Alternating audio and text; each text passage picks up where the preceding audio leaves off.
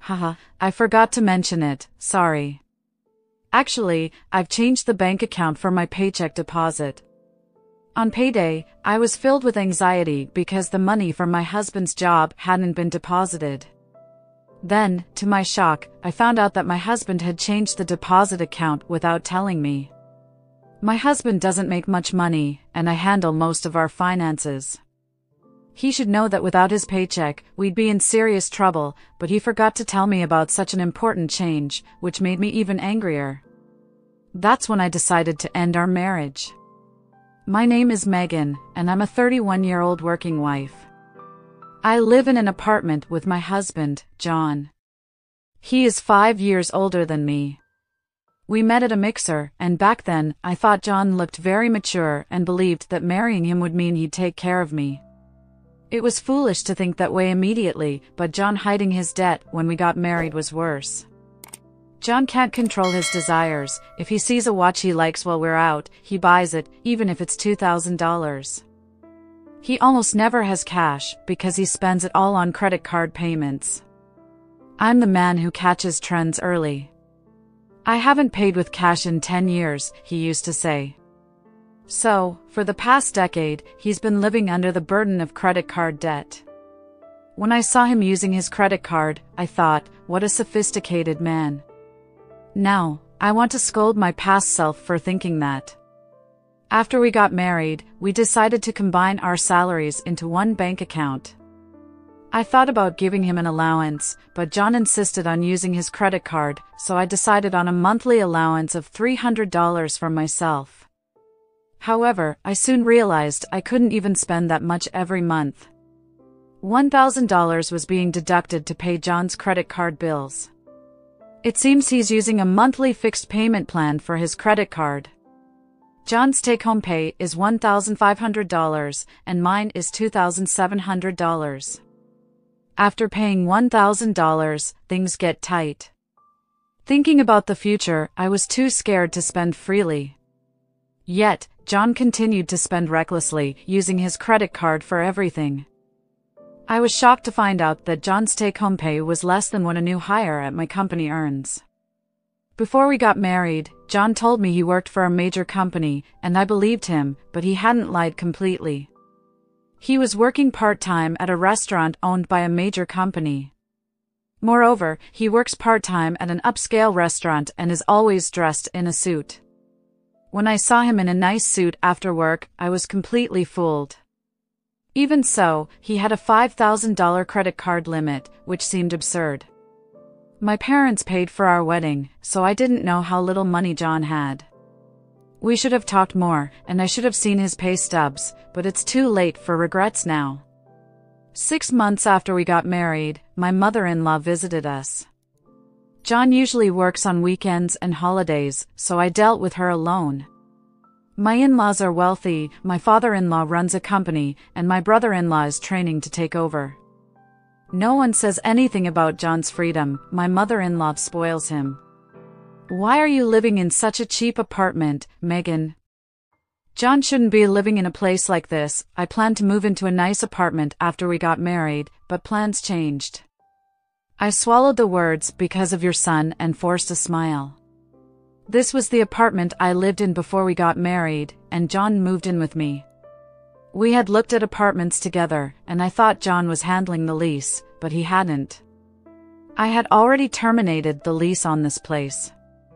He found out during our honeymoon that John hadn't signed the lease for the new apartment, and so we hurriedly renewed the lease after returning from the trip. The main reason John didn't sign the lease was, of course, financial.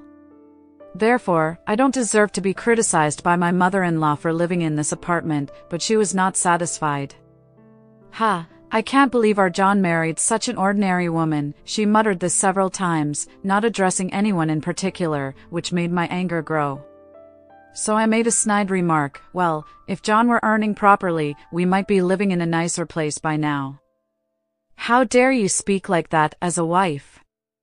You make it sound like our John is to blame. I don't know how much you depend on his income, but it's incredibly rude to interfere with his paycheck the moment you get married. Don't expect a penny from our inheritance, she said. Your wealth has nothing to do with me. Are you implying I married for money? I could live on my own, so I certainly didn't marry for money. I married John because I love him. I glared at my mother-in-law, and she glared back at me. Well, we'll see about that. Anyway, don't rely too much on John, he's a sensitive soul. I can't stand the thought of him being henpecked by his wife. With that, she left quickly. It was clear she had come to see John, not to spend time with me. Left alone, I reflected for a bit. I had told my mother-in-law I married John out of love, but now I wasn't sure if I still loved him. Since we got married, I have discovered many lies, and he's been completely unreliable. He spends money recklessly and still believes he's capable. Once he seemed so cool, but now he just looks like a fool. Can I still say I love him? A year into our marriage, John's paycheck stopped being deposited into our joint account. I suspected he'd quit his job without telling me and was spending his days somewhere else. When he came home that night, I confronted him. Where have you been, huh? At work? Your paycheck hasn't been deposited. Did you quit? Done. Let's surprise for a moment, then started laughing. Haha, I forgot to mention it, sorry. Actually, I've changed the bank account for my paycheck deposit. What? Why? I decided to stop living on my credit card. I realized that cash is better. As long as I use my credit card, my debt keeps growing, especially with the interest. I was wasting money, so I want you to pay off the credit card debt. Once it's paid off, there will be no more interest. The more John talked, the angrier I became. How does this benefit me? Once it's paid off, we won't have $1,000 deducted every month. Isn't that great? You should be paying it off. I can't do that. If I did, I don't have $500 to spend each month. So, thanks for handling it. Seeing my rage, John hurriedly left the house. Marrying a man like him was a mistake. I decided to move forward with a divorce immediately. However, I lacked the necessary knowledge at that time. I got a divorce form, filled out my part, and said, John, let's get a divorce. But he refused. Ha, Megan, we can't get a divorce that easily. If we go through mediation, we'll need to discuss it. Unless I agree, a divorce won't happen. If we go to court, the mediator will probably try to persuade us not to divorce. It takes time, and without my agreement, a divorce won't happen. Or do you want to go to court? John left as he spoke. I realized he didn't want to let go of his cash cow. He was comfortable living off my income while spending his entire paycheck on himself. This meant I'd bear all the burden. Not only did he not contribute financially, but he also didn't help with any housework. I think it's wrong that I can't even get a divorce easily. Do I have to continue living like this in despair? I juggled household chores and work. I can't remember the last time I spent money on myself. Before I got married, I had many hobbies and enjoyed my life. Well, John continues to take advantage of me. Just seeing John laughing carefree makes my skin crawl. To avoid seeing John's face, I kept my distance as much as possible. Six months after I first asked for a divorce, my mother-in-law showed up again. It was a weekend, and due to the shift schedule, John was home while I was busy working from home for my job. He had only come to see John. I planned to greet her briefly and then continue with my work. However, when I went to greet her, my mother-in-law suddenly pointed at me and yelled, What do you think of John, huh? What do you mean? I asked. You treated him coldly because he doesn't earn much. My son makes $4,000 a month. How can you, who only make $2,000, criticize him? I glanced at John, who was sweating and looking away. It seemed he had lied a lot when complaining about me to his mother, just as he lied to me before we got married. Now, he was deceiving his mother. My mother-in-law kept complaining to defend John. Your job isn't that important, yet you don't even give John an allowance and live lavishly yourself. Lavish, huh? I said, looking at John again, who was signaling me to stay quiet, looking teary-eyed and panicked. Ah, panic turned to terror. He hadn't expected this storm after he lied and complained about me. That's right. You bossing your husband around is the worst, right John? As soon as my mother-in-law turned to John, he said, yeah, a lazy wife should leave. But as soon as she looked back at me, he apologized silently from behind her. I nodded and said something I didn't mean. All right, I'll leave. I wasn't good enough for John. I'm sorry. I'm glad you understand, but you don't need to leave. Just change your attitude towards John from now on. Yes, I will. I'll be watching to make sure you treat John well. My mother-in-law left, looking satisfied, but inside, I felt a mix of sadness and emptiness.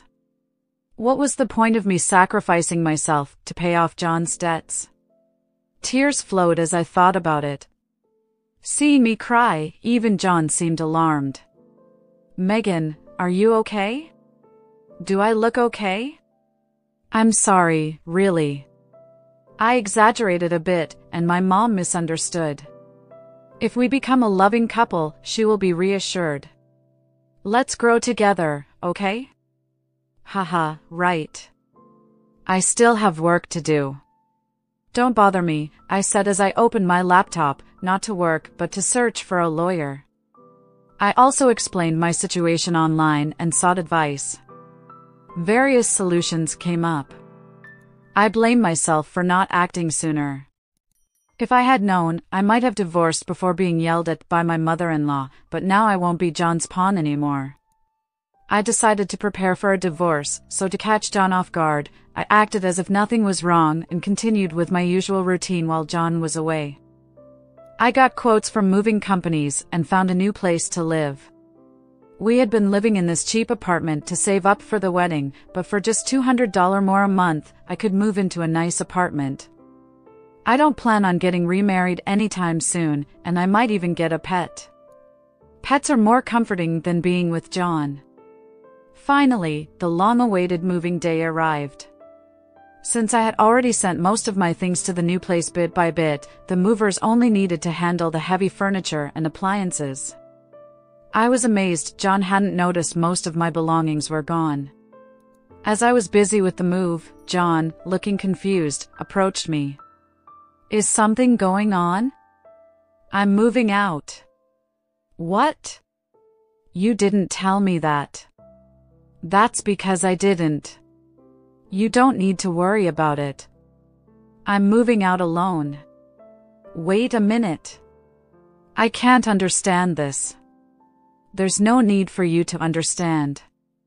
It's none of your business. Oh, and I've already cancelled the lease on this apartment, so you need to move out too. When John finally understood, he clung to me. I'm sorry. It's because I lied, right? I won't lie anymore. Please forgive me. This isn't about forgiveness. How dare you burden me with your debts and lie about having a great job?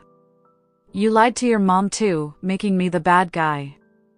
I can't stay married to you. I'll contact a lawyer later. I want a divorce. John just stood in confusion and didn't even try to argue. Then he went somewhere to make a phone call. Whoever he was calling, nothing would change now. Ten minutes later, my mother-in-law arrived. Seeing the movers, she was shocked. Megan, what on earth is going on? I had no desire to explain everything to her since she still seemed ready to blame me. It was clear John hadn't told her the truth yet, and I felt no need to explain it myself. I'm moving out. I'm divorcing your son. Please let John tell you about his job, salary, and debts. Once you've heard everything, I'd appreciate an apology. What? You're blaming John for everything when it's your fault. I was willing to forgive you if you showed some remorse. Hey, wait! Ignoring her, I saw that the movers had finished. The only things left in the apartment were John's belongings. I took my bags, opened the front door, and said, John, you need to move out by the end of the month. With that, I left. As I drove away, I saw my mother-in-law and John running after the car. They both tripped and fell at the same time. Seeing that, I laughed. After everything they put me through, seeing them stumble was comical.